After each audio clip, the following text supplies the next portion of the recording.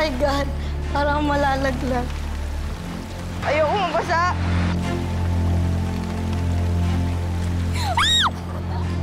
Oh my God! Ala, malalaglag ako eh. Ang hirap. Lakas pa ng agos ng tubig. Ala, malalaglag ako. Kakatakot.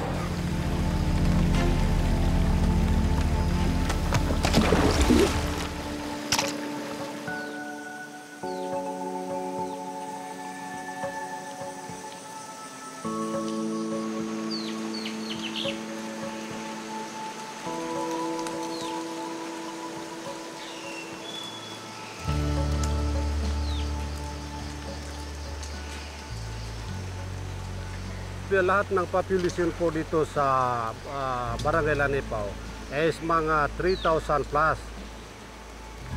Medyo po, lahat ng mga tao natin dito sa barangay po, puro magsasaka.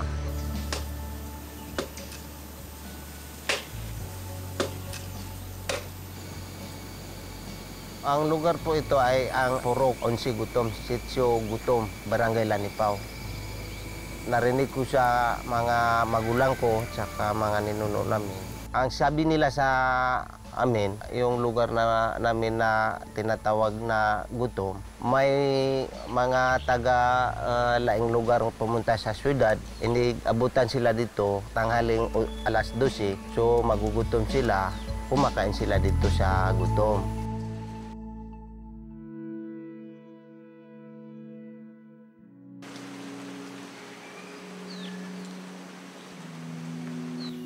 Malayo yun sa paaralan namin. Mahirap yung daanan namin. Mahirapan kami po yung lumakad po kasi yung tubig pa kami, lumakad yung tubig. Hintay namin po na luma, lumaliit yung po yung tubig.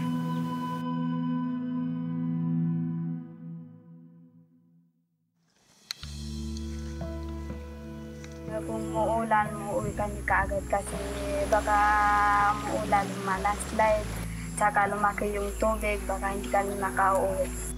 Hindi namin makakaya po, ma ma-absent kami po kasi wala kami magagawa sa daanan namin. Kasama namin yung mga uh, kaklasmate at saka yung mga elementary po.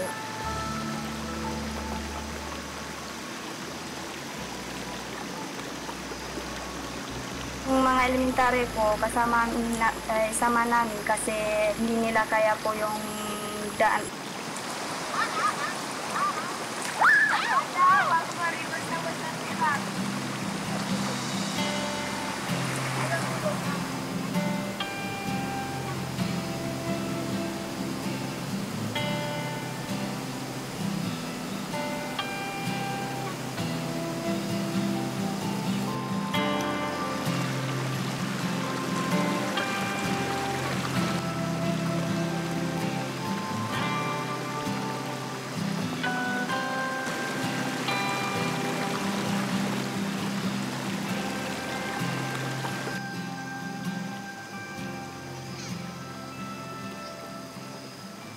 May hanging bridge po dyan sa Sitio Gutom. Kaya, kaya lang, so pagdaan ng Sindong, so nawasout po, nawasout po yung ah, hanging bridge. Nawala pong hanging bridge ah, dyan. At saka yung uh, kurinti namin, nangatumba yung mga poste, nangaputol ang mga, ah, yung mga main line.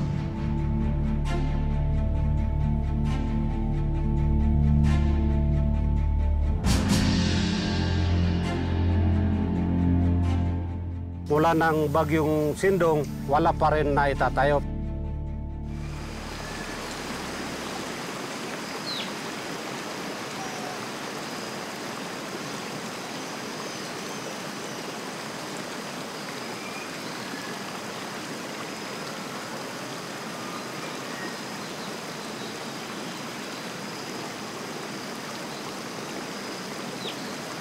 Walang dadaanan nga patungo sa eskwelahan kasi malayo rin yung dadaanan mga patungo sa Iligan, 2 hours. Yung ginadaanan nila may kable, 1 hours lang.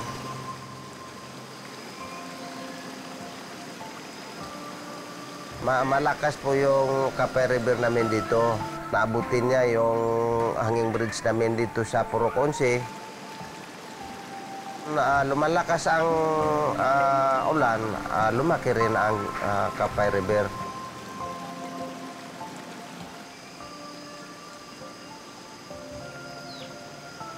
gawa ng yung parang main line po ng kuwan, kuryente, uh, kuryente, yung mga poste.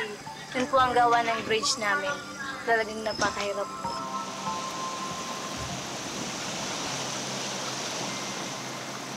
Yung mga kahoy po, yung tinatali po sa, uh, yung parang line ng kuli- kuryente.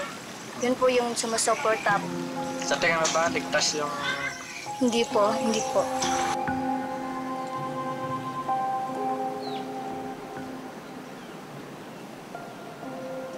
bakit ayaw mo absent? Ewan ko lang, interesado lang akong mag-aaral. Ano ang sinasabi ng mga teacher kapag ka late kayong dumarating ng school? Alam nila na nahihirapan kaming mag-aral kaya understanding rin sila sa amin kahit na nalilit po kami. I took a video. Uh, siguro last year. pero wal- wala masyadong... May nakapansin pero wala namang action. Marami yung video. Yung nag-cross yung kasama ko, yung ibang kasama nila sa Gutom. Pero sa mga videos na yun, yun kasi yung nakita kong parang mahirap talaga kung makita mo yung bata na nahawakan niya si Farinda. lagi. Kasama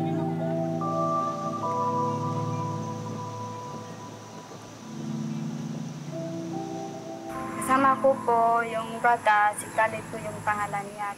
Pamangkin po po siya.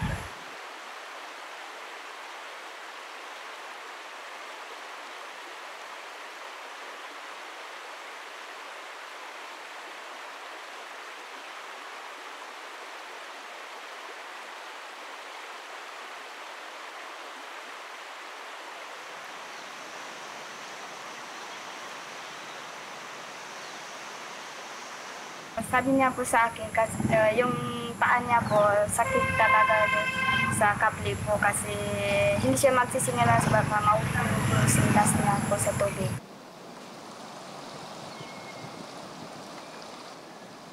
Ay, actually, hindi yung madali. Masakit sa, masakit sa paa kasi I tried it myself. Walang nagre-reklamo na. Nila yan sinasabi, pero kasi siguro nag-enjoy sila sa school at saka ano, yung gusto rin nilang pumunta sa paralan. Hindi na siguro nila naisip yun, sir.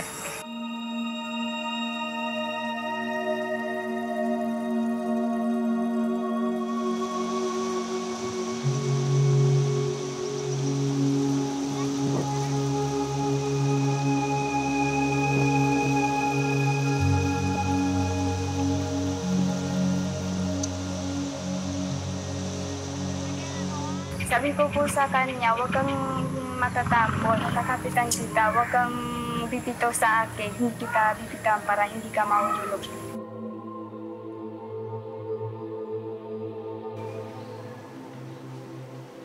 Takot talaga ako kasi baka mahuhulog ako, kasama ko yung bata.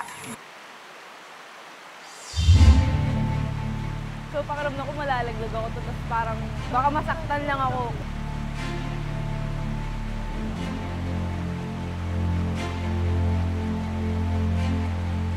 Sobrang layo ng pinanggalingan nila doon sa tinatawiran nila. Tapos ang layo pa.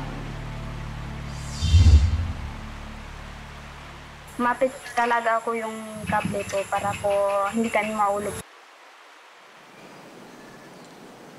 Bakit po hindi ipinagbabawal po ng local government na tumawid na po yung mga bata doon sa kable?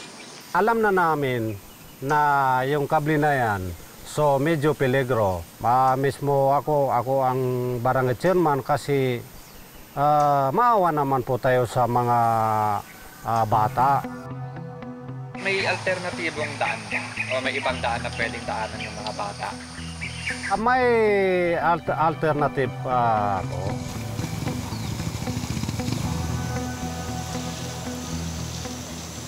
Merong isang daan po, pero mahirap po.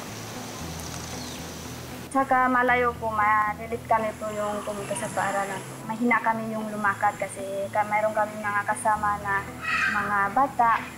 Ngayon po, mga tatlong oras po.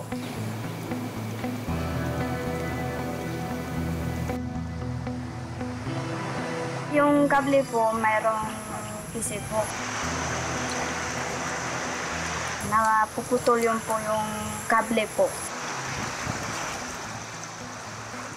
Ano nangyari? Nahulog po kasi ako sa kuan po, tubig po. Nasasaktan talaga ako kasi medyo lang po, pero hindi ako nahulog sa may bato po. Dito po ako nahulog po sa may tubig po.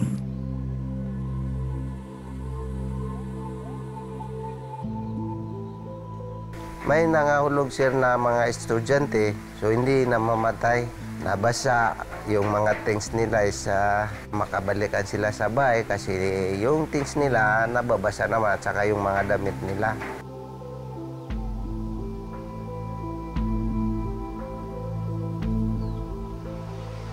Hintayin pa ba natin na may madisgrasya na bata doon, sir?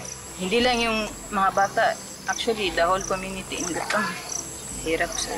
Baka may madisgrasya doon.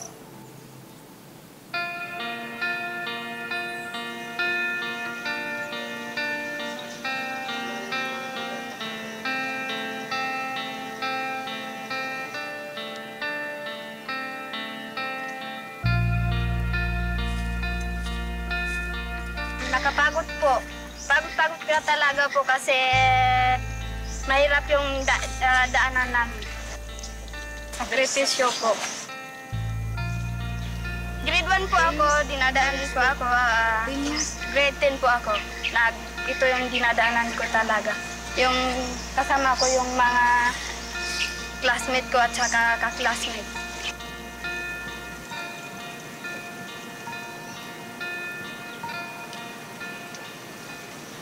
Yung mga estudyante namin, ah, tapos para makatulong sa mga kapwa niyang nandito sa gutom, maka-engineer at saka maestra.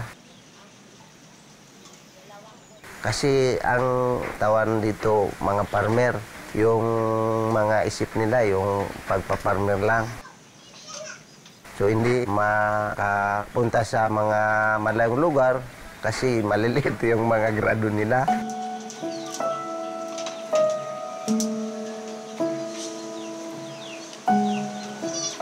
Kailan ka huminto sa pag-aaral? noon August 2016. Kasi ang mahirap yung parents ko. Nahihirapan ako sa pagpunta ko sa pag sa paaralan. Ano ang ginagawa mo ngayon hindi ka nag-aaral? Nag, nagtutulong sa magulang. Nagluluto, naglalaba, nagbantay ng bata. Gusto ko ma mag-aral pero paano yun? Ang hirap naman yung mga parents ko eh.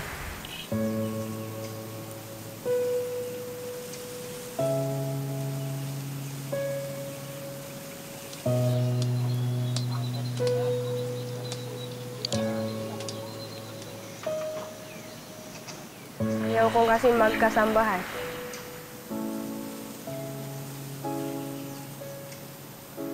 Napakalayo po, kaya po baka po yung ibang bata na huminto lang po kaya kasi naba, napago lang po. Yung mga batang babae na pag ah, may isakto, nasa isaktong edad na po siya, kapag huminto ng eskwela po, ang iba po na pamilya ay magpaasa, magpaasawa po.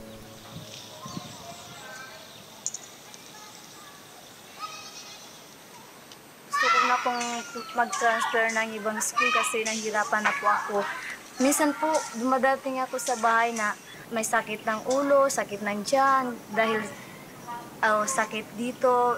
Ito talaga yung na nare-realize, nare-realize ko perna- permanente na, na sumasakit dahil sa mahirap na daan.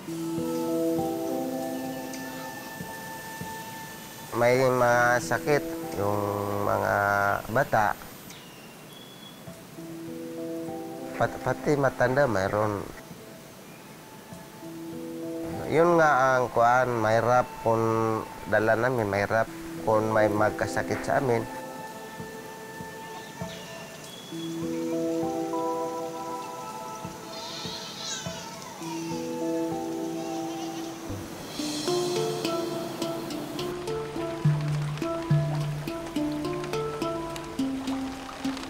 Pang sindong, yung mga kadalanan namin eh, makapunta rito yung mga sakyanan.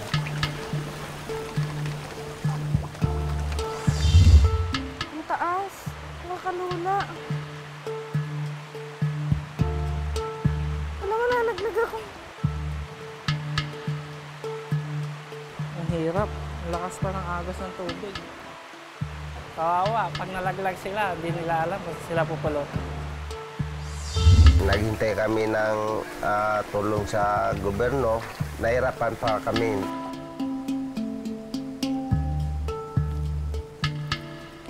Kunting budget. O, maghintay pa daw kami. Ah, iwan ko kung anong araw, anong years ang hintayin namin sa kanila. Handa po ba kayo maghintay ng matagal? Wala kaming magawa. Sino pong nagpagawa ng tulay? Nag-isip-isip ako ng mabuti o ano ang matutulong na minsa mga estudyante namin. May nakikita kami na kable nandun sa ubos. Ah, sinabihan namin yung nag-implement sa yung hanging bridge sa ubos. Hiniram namin sa ila yung kable. So binibigay nila sa amin. Nagtulungan kami sa mga ah, kuan, magulang sa mga ah, estudyante po sa Purok 11. So sabay-sabay kami nag ah, butang. So nandoon nabutang yung temporary tulay. Yung ginamit namin na pundasyon, ah, kahoy at saka kawayan.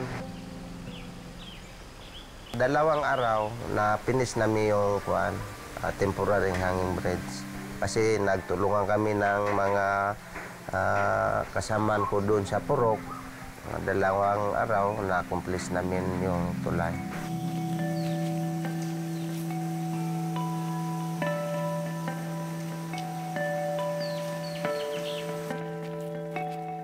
kailangan umuwi sila ng aga kasi hindi naman po namin sila pwedeng sabihin na may nakauwi kasi kuan, hindi pa oras. Eh, paano kung abutan sila ng napakalakas na ulan, sir?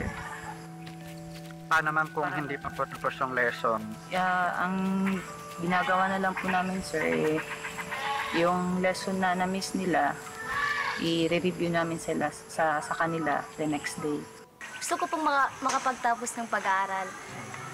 Kahit na kahit na farmer lang po yung mga parents ko dahil ayoko pong ayoko pong maging maranasan ulit ng napakahirap na pamumuhay dito sa mundo. Anong pangarap mo? Gusto ko pong maging criminology. Nagsasakripisyo kami po. Kahit mahirap po. Hanggang kailan ka magsasakripisyo? Hanggang po makatapos po. Makatatapos po ako yung mga yung, ah, pangarap ko po, matutulungan ko po yung mga kasama ko po.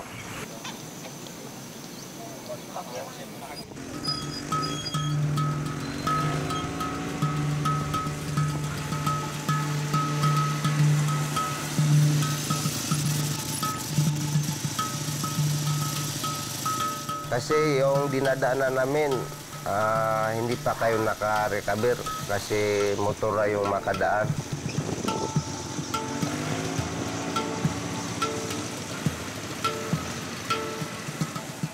Magkano po ang bayad ko sa habal-habal o sa motorsiklo pagkakabiyahe ko hanggang kaya?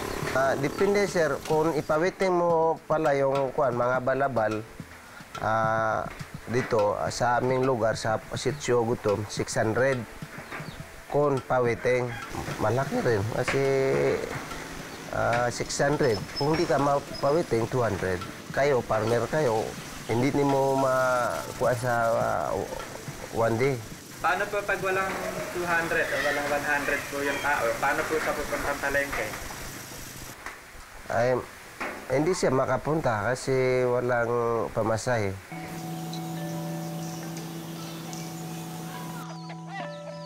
Marami kami dito. So, pag kuan sa Sindong, lumilipat sila dito kasi yung mga ah, kalsada namin ah, nangasira. So, yung mga kasali namin sa barangay, lumipat sa ibang barangay kasi hirap na hirap, mahirap na mahirap yung dinadaanan namin. Ah, yung iba, lumipat sa Manila.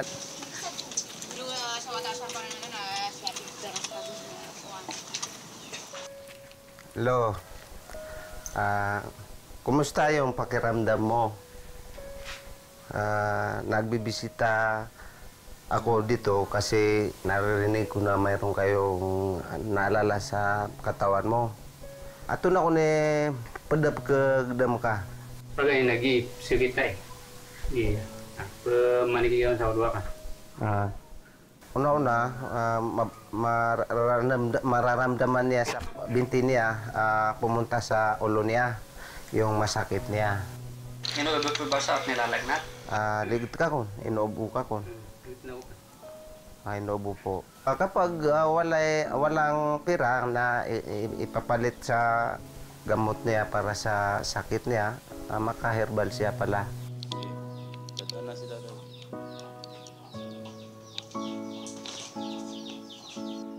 Yun nga ang kuan, mahirap kung ah, kung yun lang ang kuan namin sa ah, dala namin, mahirap kung may magkasakit sa amin, delikado sa motor. Kapag walang pera, hindi makatira sa iligan.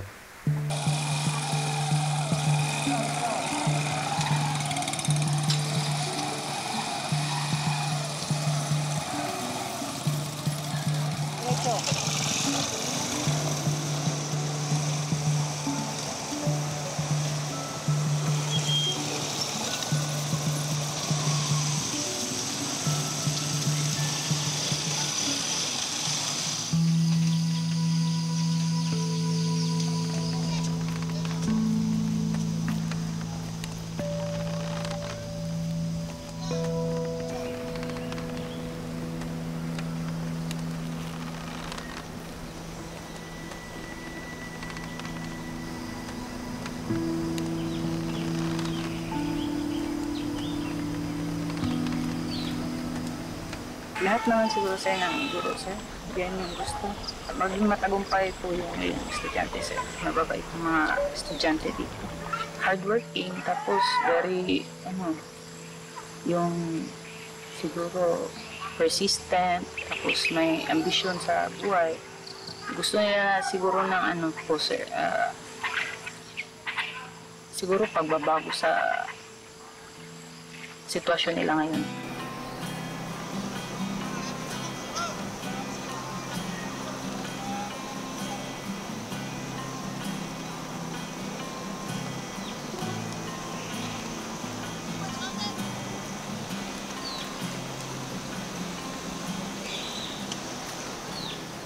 Lang ang kahirapan upang hindi makapagtapos ng pag-aaral. Pwede rin namang makapagtapos ka ng pag-aaral. Kung Kung kung magsasakripisyo ka.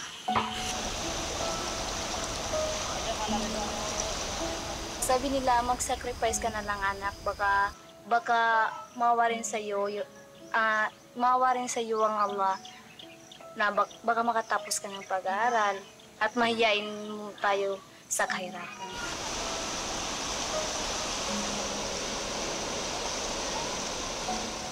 Magsisikap po ako hanggang sa maabot ko yung mga pangarap ko sa buhay.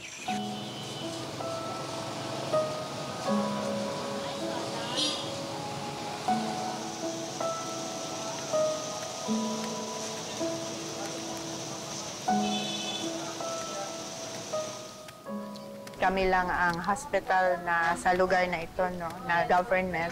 So marami kami mga patients na pumupunta galing sa ah, mga liblib na, na lugar, pero karamihan sa kanila, ah, yung grabe na yung sakit pag pumupunta kasi malayo.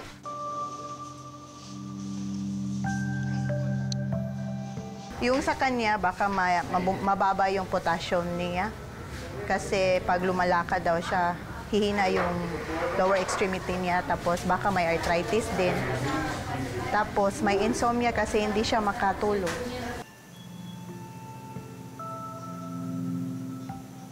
Sayang kasi meron tayong dapat doktor na pumupunta sa kanila para doon na lang silang magpakonsulta. Hindi na sila mismo ang pumupunta sa syudad para magpakonsulta.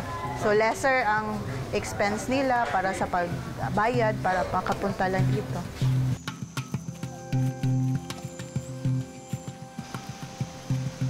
Pag hindi mo napuntahan yung lugar na ito, yung mga tao nangangailangan ng serbisyo, hindi nila makuha yung love and service sa mga ah, medical na pangangailangan ng pamilya.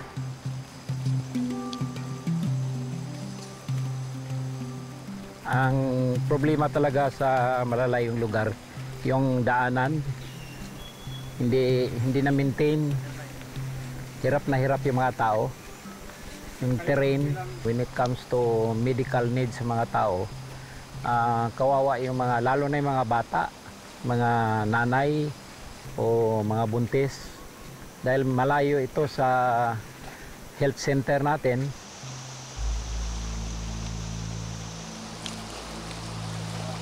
kadalasan na sakit yung lagnat, mga sugat, ubo, sipon, yung mga malnutrition.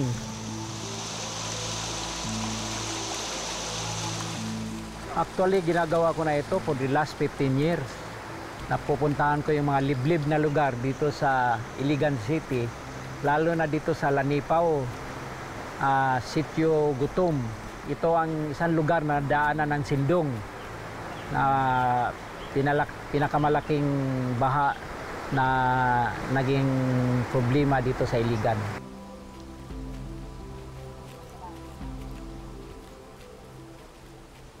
Ito ang tinatawag na jungle warfare na kailangan talaga para marating mo yung patutunguhan mo mga liblib na lugar.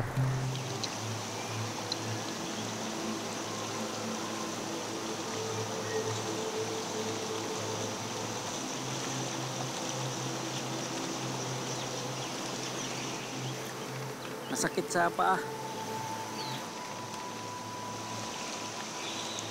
ang Department of Health ay naniniwala na marami pa rin sa mga kababayan natin ang hindi nakakatanggap ng serbisyo at marami pa rin sa mga kababayan natin at mga lugar na hindi nakakarating ang serbisyong pangkalusugan.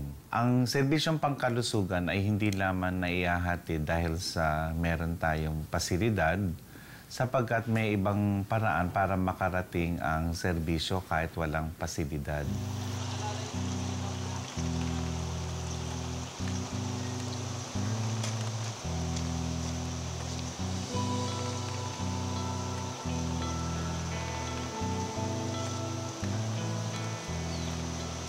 Kailangan ibabalance mo at the same time masakit yung paa mo kailangan anuin mo talaga.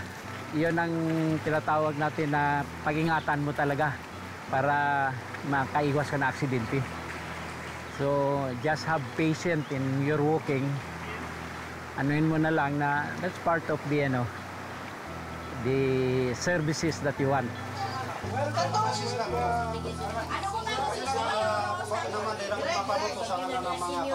Ato mga dlag po. Sa kanta sa paghugas. Tanggap naman namin na hindi lahat ng lugar na nangangailangan ng serbisyo ay mapupuntahan. Pinaliliwanag nga namin kung wala namang daan doon, tulay, walang pabahay, walang tubig na pagkunan, walang kasilyas, Kahit anong gawin po natin, hindi mangyayari po yan sapagkat may mga requirements po para maglagay ng isang health facility. Halimbawa, may kuryente ba ron? Kasi pan may health facility tayo, halimbawa, lalagyan natin ng bakuna, masisira lang yung mga bakuna kung walang steady source ng kuryente.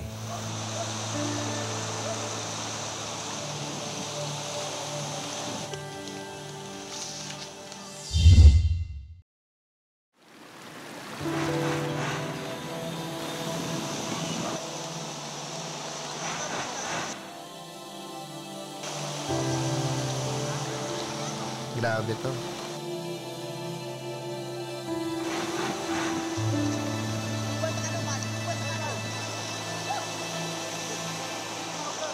Pero grabe. Biro mo yon? Matindi, matindi. Grabe. Ang, ang, ang, nipis nung ano, nung lubid. Na ano, very, ano, masyadong delikado. Delikado. Mga high school ba yon Yung ano, yung nandun doon? Elementary. Nakita ko po ito actually sa Facebook, pero wala ko akong pagkakataon na panoorin ito ng ah, kabuuan. Pero ito nakita ko at uh, because of the technology that uh, we were using, I felt that I was uh, really there. At uh, pagtingin ko sa baba, uh, napakadelikado pa. And Kaya nga po na sinabi ko na yung uh, sityo gutom na yan, na kahit lang uh, grade 1 at saka grade 2 na lalagyan ng uh, temporary school para yung mga maliliit na bata, hindi na po makapunta dito sa sentro dahil po uh, dumadaan sila sa ilog at saka yung uh, uh, dadaanan nila is masyadong malayo. Pwede nating sabihin na para hindi na sila maglakbay, dapat may paaralan na malapit po sa kanila. Maski magpatayo tayo ng paaralan, hindi tayo nakasisiguro at ang kalimitan nangyayari, walang sapat na dami ng mag-aaral para sabihin na viable ang public school na ito. Kailangan po yan ng isang mahusay na tulay dahil mismo ang ating mobile teachers ay yan din ang kakaharaping hamon para po marating sila at mabigyan po sila ng access to basic education. Formal po ninyong ah, tinatanong ito, pagkakaunawa ko po, umaksyon na ang ating ah, kagawaran ng edukasyon, nais ko lamang i-validate kung ah, nakapagpadala na ba tayo ng ating ah, ALS mobile teachers sa lugar na yan.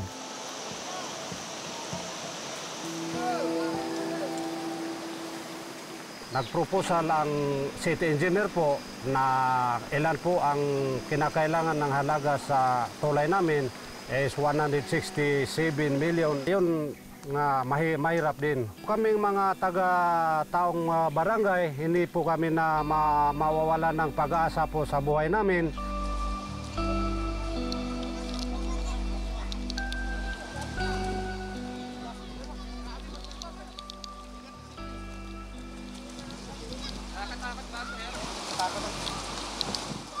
Problema dito, pag tumaas yung tubig kasi maabutan daw yan.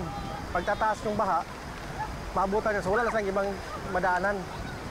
So yung mga bata sa kabila, baka mahirapan pag ano, pag eskwela. Kasi ang ampara na nandito eh, nandito na side. Sir, pang long term ba yung ganitong klase? Hindi talaga. Hindi pwede kasi delikado naman, delikado sa mga bata. Ano kaya yung pwedeng gawin ng local government natin dyan, sir?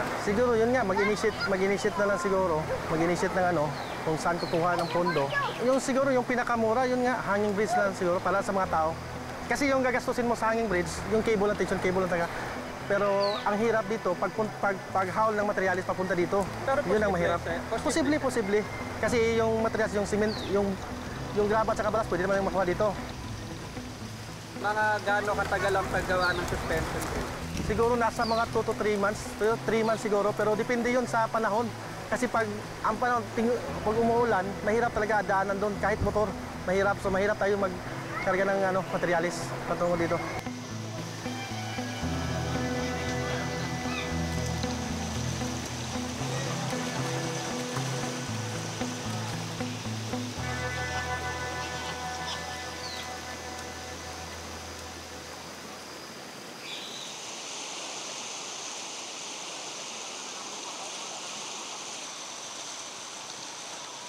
Ito po ang uh, pinoproposan na papatayuan niya po ito ng ah, malaking tulay.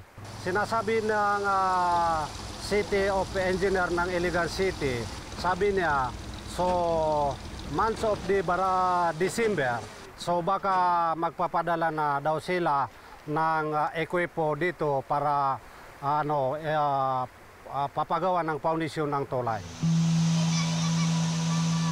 Sana po yung ah, mga pangailangan namin, yung karsada namin, yung tulay namin, kuryente, ah, mas lalo na po sa agrikultura na sana po masuportahan po masyadong may- mahirap. Kasi ah, ang isang ah, barangay po na dumadaan sa ah, isang ilog na pag walang tulay po, ah, masyadong mahirap po.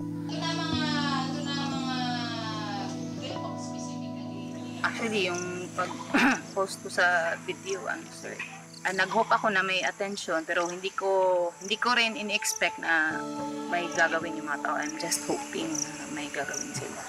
Hopefully, yung nag-message na gusto tumulong, sana tutukanan.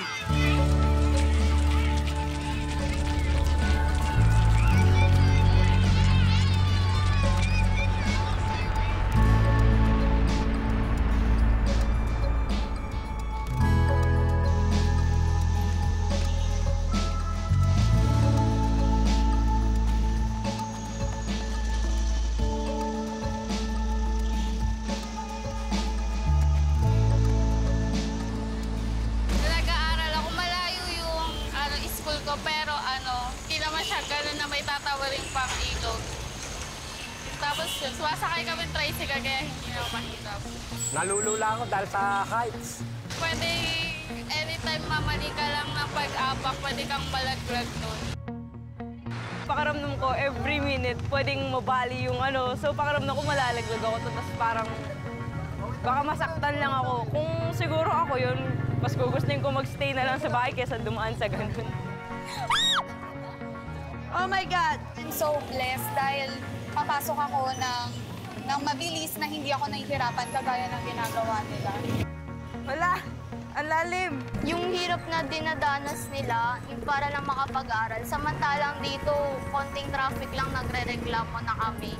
Parang wala pa po sa hirap nila yung mga dinanas namin sa traffic lang. Hala, malalaglag ako. yung tinawid ko kanina, sobrang ikli lang nun. What more pa yung tinatawid nila. Saka nakita ko din yung dedication nila sa pag-aaral. And ang dami kong na-realize as a student. Hala, malalaglag ako. Nung nakita ko si Mang Tumutulay, ang gusto kong mangyari po, tulungan sila ng gobyerno. Kakatakot. Kailangang ah, yung pahalagahan ng mga bata, yung, yung kung ano yung meron sila ngayon at lalo na yung pag-aaral.